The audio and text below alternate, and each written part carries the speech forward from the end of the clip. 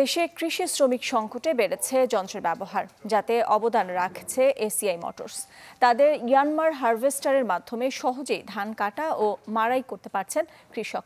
এমনকি যন্ত্রের সাথে অ্যাপসের মাধ্যমে থাকছে যোগাযোগ। ফলে যন্ত্রটি কতটুকু পরিমাণ জমির ধান কাটলো, তার হিসেব মিলছে ঘরে বসেই। মাঠের সোনালি ধান কাটছে যন্ত্র। মুহূর্তেই মাড়াই ঝাড়াই হয়ে সেই ধান জমা হচ্ছে ট্যাঙ্কে আর খড়গুলোকে পেছনে ফেলে সামনে এগোচ্ছে হারভেস্টার। কৃষি শ্রমিক সংকটে এমন যন্ত্রের উপর আস্থা বাড়ছে কৃষকদের। তারা বলছেন, এই যন্ত্রের ব্যবহারে কমেছে ধান কাটার সময় এবং খরচও মানে আমার এই দুইটা সাঁত্রিশ শতাংশ জায়গা। এক ঘণ্টার মধ্যে ধানটা আমার মানে এক জায়গায় টেপা হয়ে গেল। টেপা হয়ে গেল খেতটাও আমার সুন্দরভাবে মানে সারা খেত বইরে মানে সরাইনে রইল। সাতশো টাকা রোজ ছয়টা কামলা লাগে। এখন মেশিনে একটু সহজ হয় তাড়াতাড়ি কাটা যায়। ইয়ানমার ব্র্যান্ডের এই কম্বাইন হারভেস্টারকে কৃষকের কাছে আরও সহজ করেছে স্মার্ট অ্যাসিস্ট রিমোট পদ্ধতি।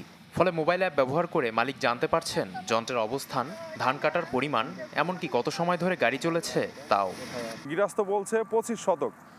আমি অ্যাপসের মাধ্যমে দেখতে পাচ্ছি ওখানে তিরিশ শতক জমি। তো তখন গৃহস্থের সাথে একটা ক্যাসাল বাজে গেল। তো ক্যাসাল বাজার ফলে পরে আমি গৃহস্থকে বুঝিয়ে অ্যাপসটা দেখে বলি যে এখানে তিরিশ শতক জমি আছে। পরে সে ওইটাই আর কি সমাধানে মাইনা নেয়।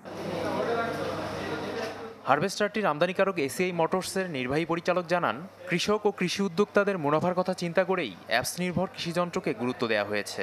যদি কেউ হারভেস্টার কিনে তাহলে সে মোবাইলে বসেই তার হার্ভেস্টারটা মনিটরিং করতে পারবে।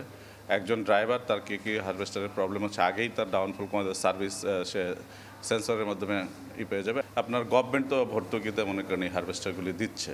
তো গভর্নমেন্ট এখন যদি জানতে চায় যে এখন কয়টা হারভেস্টার অপারেশনে আছে, কোন কোন জায়গায় আছে, এগুলি কিন্তু আমরা ডাটা দিয়ে দিতে পারব।